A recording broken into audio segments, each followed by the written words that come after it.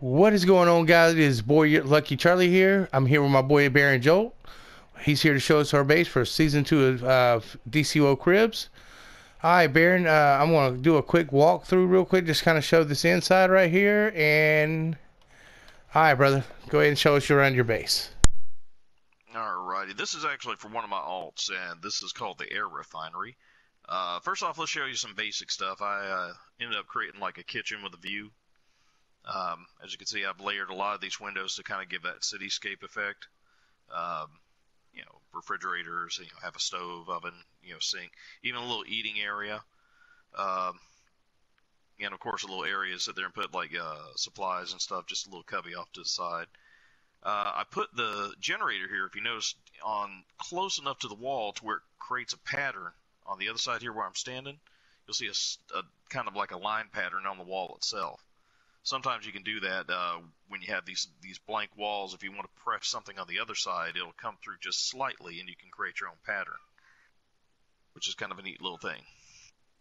And then uh, let's see, hop over here.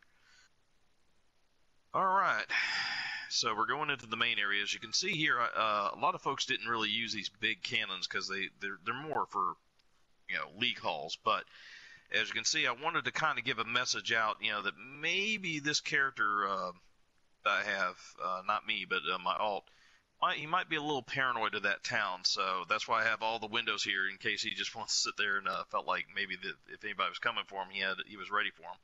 I have a little area over here in case he wants to sit there and drop like plans or have a meeting, you know, about what to do. Uh, and once again, I, I, went ahead and used uh, a lot of the Kryptonian uh, half arches and supports to, to make these lattice style walls that kind of look a little on the futuristic side. Uh, down here, you'll see one of the. Uh, uh, this is my alt's DPS loadout, and of course, I combined the arch wall along with the Zeus arch to sit there and make a unique little combination. Same thing with combining other things. I sat there and took the chandelier and one of the little air vents made a rather unique looking uh, piece down here. Once again, you see me using a lot of these in the front room area, a lot of these windows again. Um, as you see what's above me, you'll see this is a, the first uh, of many fans you'll see in this base. Uh, this is a, an Apocalyptian induction fan. Um, I don't know how often they pop up, but they uh, they are a pretty neat piece, and they're rather large too, as you can see. Uh, right now, I'll go ahead and show you the uh, the control room. Uh, once again, this is a combination of uh, a lot of items. Um, have another Apocalyptian fan here. I have the Apocalyptian cannon. Uh, and then I used a lot of these activated uh, control modules. And what it is, I overlaid them. And when you get them close enough, you can space them out to where they make the you know the lights can be obviously real close, and it looks like it's a grid of lights. And um, you can actually still, even though you put things in front of your, your amenities, you can still get to them, uh, as a lot of people already know. I've been using a lot of the walls here. This is the uh, vault circuitry, uh, little pill dispenser over here.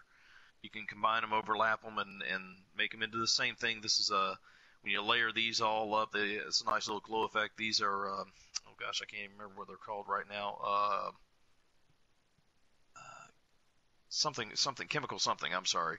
And then, of course, I have my uh, armory where I have all the uh, guns stalled or uh, stored. Uh, over here is a tiny little area for if I have guests, somebody can sleep in uh, the little cot here. Once again, you'll see a window even by that underneath the stairs. And this is another item that a lot of folks don't use in personal bases. This is the the diesel generator, and I actually put my the my little workstation right by it, so it looks like I can just come up to the diesel generator, but I can actually go ahead and break things down, build build mods. Uh, did a little visual gag here with uh, I forgot to even mention this. Uh, I did a little visual gag here with the uh, uh, oh gosh, uh, Baron von Savage painting and a couple of lights. Gave him a little bug-eyed look there. And um, as you can see, as I flew up into this, you'll see have a bunch of fans on the walls. These are your standard uh, uh, ventilation fans, and of course the Apocalyptian uh, induction fans again up top. You see how much room they'll take.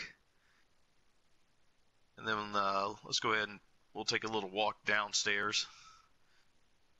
Now, uh, the character's name is Emperor, and Emperor is growing his own army, as you can see.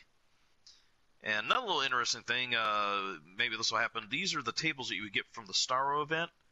Uh, a lot of them dropped. a lot of folks only used uh, one or two of them. I actually figured a way of using the water from the summer event to flood the whole bottom of the base down here, and then I used the tables as walkways over the water. And as you can see, there's empty tubes here. I have a Kryptonian arm here in case I want to sit there and swap out tubes. Uh, another little cubbyhole area. These are a bunch of uh, furnaces. And I put the other uh, generator over here. And of course, this is the other area for uh, his DPS, not DPS, uh, his controller loadout. Oops, let me get out of it. And then, uh, as you can see down here, it's a little open area. I don't have much going on right here. I did a lot of collection, like he's reinforcing this wall here. You'll see more of the windows lined up. And then, of course, I have one of my amenities down here as well. I made a nice little archway, and then I combined it with some fireplaces at an angle to kind of make it look like it's part of a part of a larger thing. And um, we'll show his throne room real quick, as you can see. Um, if you use a lot of these archways, lace them up, yeah, they can make it like a little walkway tunnel. And then you come right into his little throne room. As you can see, he's doing well off. Uh, once again, uh, right above me, I keep him with the theme, uh, fans and pulling air in. Is another uh, induction fan and some monitors. Uh, behind the throne is going to be, of course, one of those moon windows and as you can see, I've laced it with other things like archways and whatnot. This is the Olympian archways. Uh, this is actually two of them. You can get them to touch, and it looks like one big, thick archway. Of course, he has a lot of knights standing, waiting to guard. And we're going to go ahead and uh, take this upstairs. Because anybody coming to the base is wondering why is all these fans where are they pulling and well what they're pulling is they're pulling air from the greenhouse area here you probably see some critters jumping about possibly a couple of little uh, springtime and uh, the water pack nymphs I also have uh, I think Isis Isis cat's around here somewhere but she kind of blends in Yeah, she's right here beside me. Oh, there she is.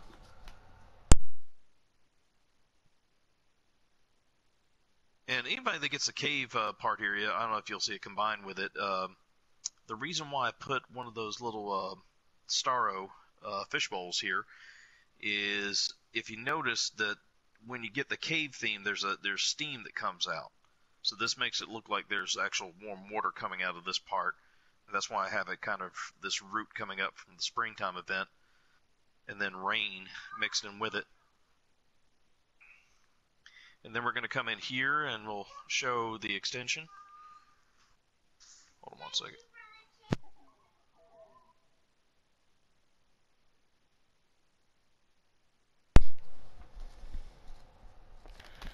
This is really nice.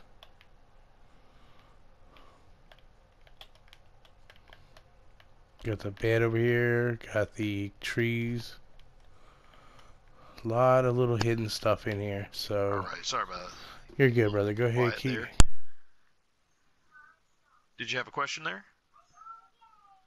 No, I just didn't want it to be quiet, so I just kind of described a few things over there, just I that just way it wasn't quiet. Where some of the additional water was coming from. Yeah, no. This is kind of like a little aquacultural area, and uh, I'll step out the side here so you can go and check the uh, the bathroom. And the interesting thing about the tub you'll see in the corner or the back area there is I use some of the vines draping down as almost like a little uh, privacy area, but you can walk right straight through it.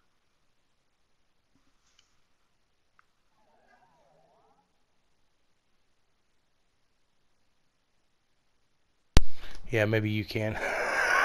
my big guy can't do it. Oh, there we go. I was like, maybe you can. My big guy couldn't do it, so I was like, um, because you said it, so I was like, okay, I'll try it real quick, and then you know, but your characters, I'm, I'm thicker, so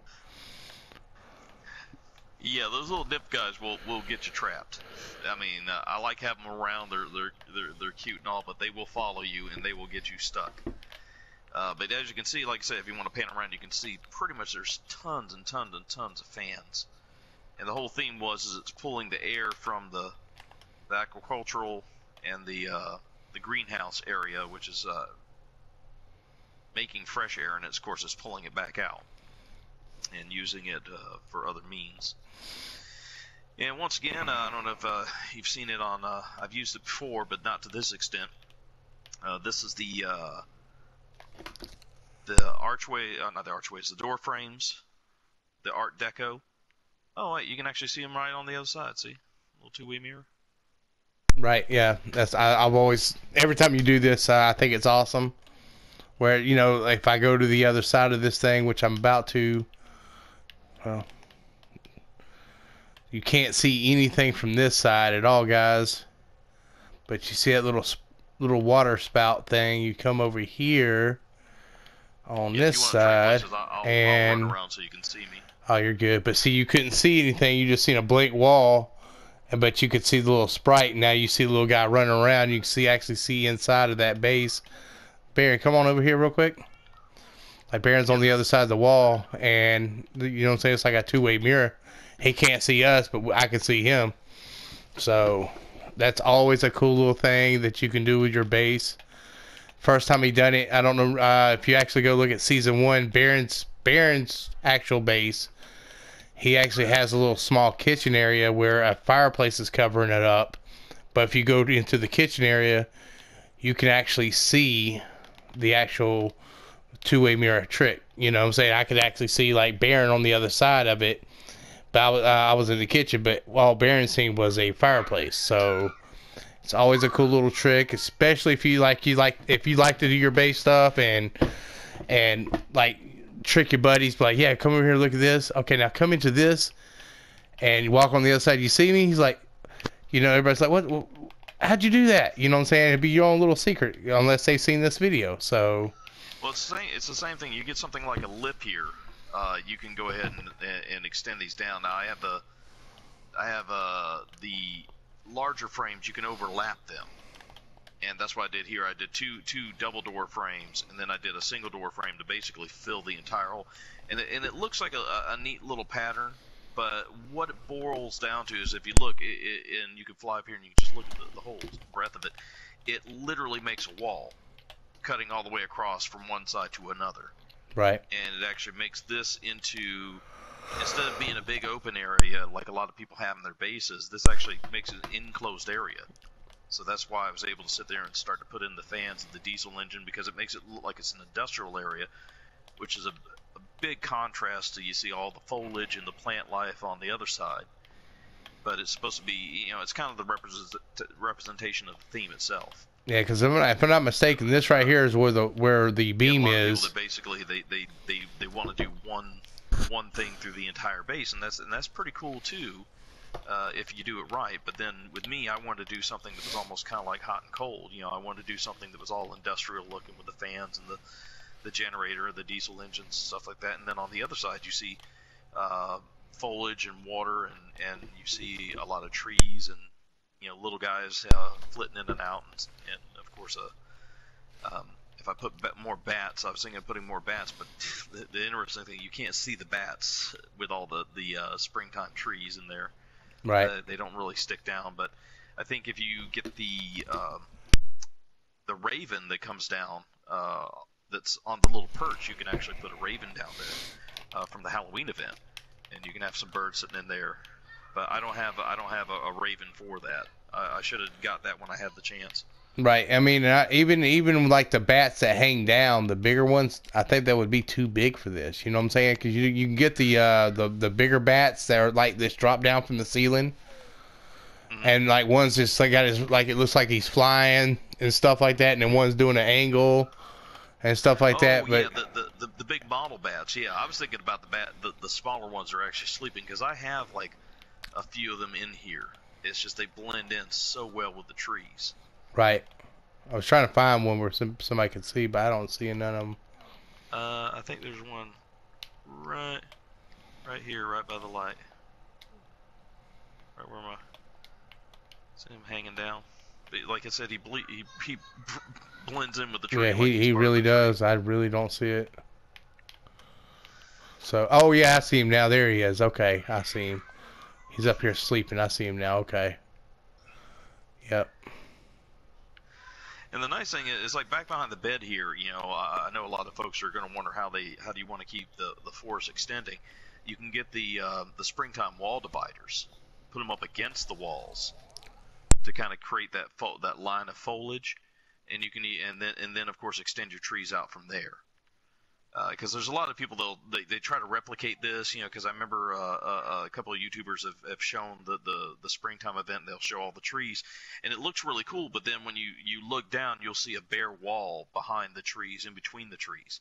And this is how you kind of get around that problem: is you take the wall dividers, and it creates like a solid line of foliage on the walls, and then you just build out from there. So even if you're looking between the trees, it still looks like it keeps going. And I, I, I love how these flowers create, you know, something a little deeper than just the, the simple grass. But I do have patches of grass in here as well, uh, and of course the the, the mushroom patches. Right. You know, I do like how, how- like you know, I do like how you got this tree trunk right here, and then your banks in there too. That's kind of cool.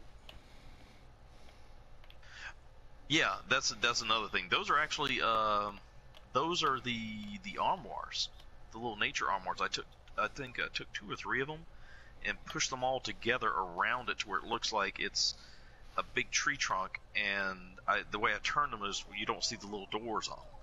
And I kind of mushed them all up around it, so it looks like it's it's a big tree trunk with the the actual little bank vault coming out of it. Right. Yeah, I, I think that's cool and blended in awesome.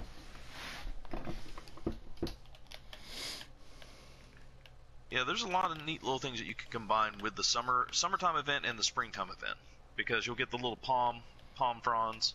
So you can make if if, if you don't like the flowers, the flowers aren't deep enough. You can get more of these little palm trees, uh, like a like I'm standing over by over by the base of the tree over here, and you can literally make it uh, above your knees if you want to fill your base with that. But like I said, that's a it all depends on the height of what you want to have covering your your character's feet. Uh, you do the grass, it's like almost like carpet. If you do, you know, which comes with, yeah, I think you can get the grass in like during the uh, the uh, St. Patrick's Day event, the grass and the the stonework and stuff like that. And then of course the springtime you can get the flowers, which puts it just below the knee. And then of course the summertime event you can get the palm, the little palm trees, uh, the baby palm trees, and that can actually make it above your knee. It all depends on how much of it you want to look like a forest and how much of it you want to look like a jungle. Hey, I got a quick question for you. Um, I know the I want to say the last spring season didn't we have like different color, like flower, um, like patch grass type deals? You know what I'm talking about? I think we had Yeah, we like had different white, purple, and stuff like that. That would that blend in pretty good with this too? Well, that's what that's what it is. This is what you're seeing. You're seeing the, the purple, the, the oranges, the whites. I've, I've overlaid. Oh, is this what is this that? Oh, Yeah, so why is- was I thinking they looked like roses or something? I don't know why I thought they were like more stemmy. No, no. This is what they this is what they look like. Oh, okay. Yeah.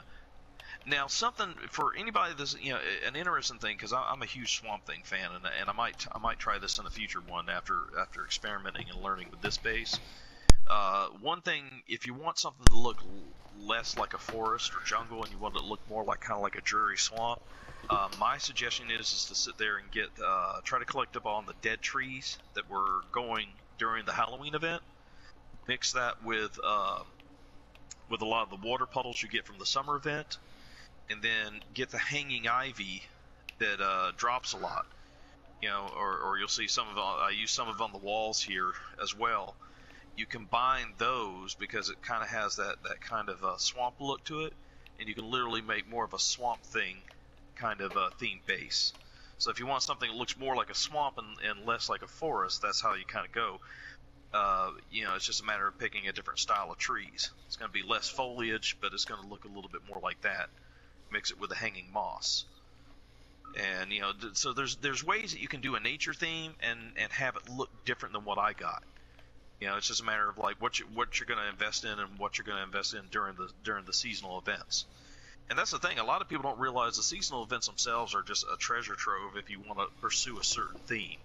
Uh, like you saw with with Baron's base, uh, there was a lot of crystals I collected during the uh, during the February uh, Valentine's event. And uh, even if you don't like the pink, you know you can always combine those crystals with um, with even the Kryptonian stuff that you pick up that has crystals, so you can make uh, multiple ones of that. Or you can do uh, with Christmas time with all the icicles that have been dropping right now. That's that's a, that's the perfect time for any ice-based characters that want to have an ice theme uh, for their characters. So I mean, there, there's there's you just look at the different seasonal events and what kind of theme you want to run with your characters, and then you can go with that. Right. Yeah, dude. Every time I come in here, I, I, I see something new every time. I know I've been in this base. God, I know I've been in this base like 500 times, and every time I come here, it's like, oh, I didn't see this. Oh, I didn't see this. There's so much stuff going on over here. It's like with this little venom stuff. It looks like it's coming through these little things. There's just so many small details. I mean, you even put a little funny little picture over here with a uh, Baron von Savage uh, thing with the little bug eyes with the little red lights and stuff. I mean, it's awesome. I mean, this I mean this is well put together. And I still, like I said, this you are the only person so far I've ever seen to do the two-way mirror. I've not seen anybody else do it. Which I mean, like I said, I probably don't know them if they've done it, but maybe uh maybe uh th- that person will see this crib like hold on i got better two-way mirrors i need to be in season three so because there will be a I'm season three I'm, definitely trying to find new ways. Hopefully, uh, if I get another chance to develop a another base, I'm, I'm working on some ones. I'm not going to say what they are, but there's some uh, there's some things that you can take a lot of windows, a lot of things that are similar to like the uh, Art Deco uh, door frames, and you can make them into walls. It all depends on what you're wanting to sit there and layer, and um, and how you can combine them. And it's really funny. There's a lot of things that people look at and they think it's only one style only. Um, you know, and like like with the Art Deco, uh, I see a lot of people use those Art Deco uh, uh, doorways in like say like a penthouse base. But um, but you see here, this is this is a cave, uh, and and you would think it would look silly, but the way I did it is I made it into like the glass of almost uh, of what you want to call like a like a a tree house, not tree house, uh, a greenhouse. So it's like a greenhouse glass. You know, if you use it in a certain in a completely different way. right and like like i said this whole extension thing right here i mean I, you know not, not a lot of people would have thought about doing this because in all actuality this right here where this beam is right here is where it stops and this is all an open area right here and you actually went and pieced pieced these together and everything and made it a whole full wall and closed it in and everything so which is awesome. All right guys you know the drill. Uh, basically guys what we're to do bottom line is you, you don't have to just vote for one base. You can vote for every base that you like. Any base that you like there's no need to dislike because it doesn't matter. I mean, if you just want to dislike it, you're just disliking the the the the, the whole idea of D, DCO crib. So basically, what what it is is we're gonna run this for a week. After a week, uh, this will drop on the 25th. It's a Monday. It's Christmas Day. And at the end of uh, the next following Monday, we, we will do a follow up, and you'll show. I'll show the winner, and um, we'll give them. We'll give the winners uh, the 20 mil prize and um, and we'll do another walkthrough of their base or whatever. Uh, just depends on uh, what what kind of time frame we're looking for and everything. Uh, so, like I said, guys, please like and guys, if you hadn't subscribed, please subscribe. I got tons of stuff like this coming up in the future. Baron, thank you so much for showing us your base, brother. I do appreciate it. And guys, y'all have a good day.